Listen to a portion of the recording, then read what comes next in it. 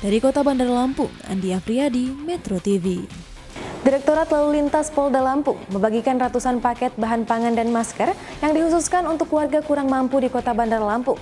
Agar distribusi tepat sasaran, penyaluran bantuan ini dilakukan dari rumah ke rumah. Sekitar 500 paket bahan pangan yang terdiri dari beras, sarden, minyak goreng, susu, dan juga masker diserahkan kepada masyarakat kurang mampu di Kota Bandar Lampung. Pembagian paket bahan pangan dan masker ini dilakukan dengan berkoordinasi bersama Babin Kaptipmas setempat. Pemberian paket bantuan ini dilakukan secara selektif dan hanya untuk masyarakat kurang mampu yang tersebar di Kota Bandar Lampung.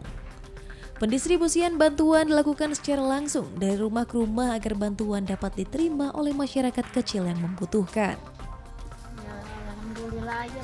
Karena kami kan tahu sendiri kerjaannya kayak gini, cuma uh rumah tangga. Uh, Kebetulan rumah tangga juga lagi diliburin semua. Uh -uh. Uh -uh. Jadi memang memang diharapkan bantuan bu. Uh -uh.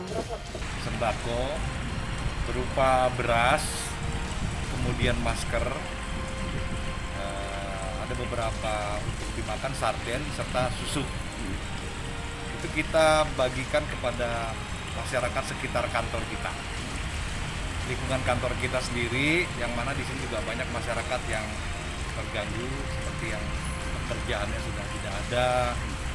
Kemudian juga yang kerjanya harian yang yang dilanda sakit dan sebagainya kita datangkan setelah itu kita mapping setelah itu kita langsung on the spot ke sana untuk memberikan secara langsung kepada masyarakat yang membutuhkan Bantuan sosial yang diberikan akan dilanjutkan secara berkala.